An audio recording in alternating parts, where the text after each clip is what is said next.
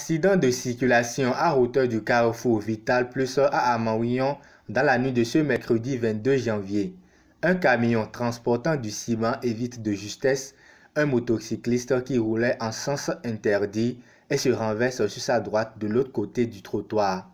C'est du moins ce que nous apprennent ce matin quelques responsables de l'entreprise propriétaires du camion accidenté qui ont requis l'anonymat mais plus de peur que de mal dans ce qui aurait pu être une boucherie, étant donné que les vendeuses habituellement installées à l'endroit même de l'accident étaient absentes.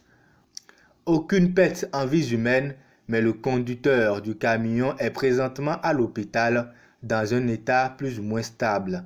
Sur le terrain, on peut bien remarquer une mobilisation des jeunes qui aident à décharger les paquets de ciment. Conducteurs de camions et motocyclistes doivent redoubler plus de vigilance sur nos voies et respecter le code de la route pour éviter au maximum ce genre d'accident qui ne se passe toujours pas sans conséquences.